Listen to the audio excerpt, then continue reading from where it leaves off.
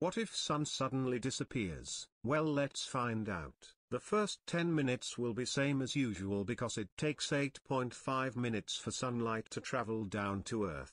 After 10 minutes the Earth would be enveloped into complete darkness and the moon will disappear for us because we can only see moon when it reflects sunlight. Due to lack of gravitational pull Earth will fly in a forward motion towards the outer space. Within a year the temperature will drop to minus 73 degrees Celsius and humans will die like a rat haha jokes apart only marine life will be alive due to isolation of layer of oceans and lake. And plants will die due to no photosynthesis.